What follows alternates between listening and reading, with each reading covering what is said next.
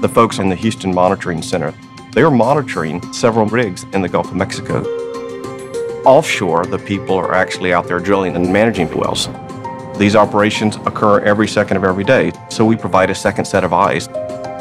There's somebody here 24 7. There's somebody sitting in that chair right now watching the operations on all these rigs. People are watching what's happening all the time.